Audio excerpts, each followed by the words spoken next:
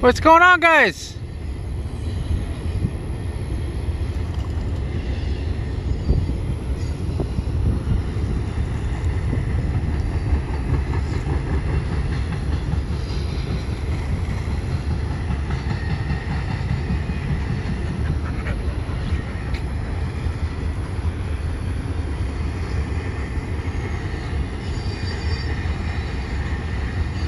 Hey!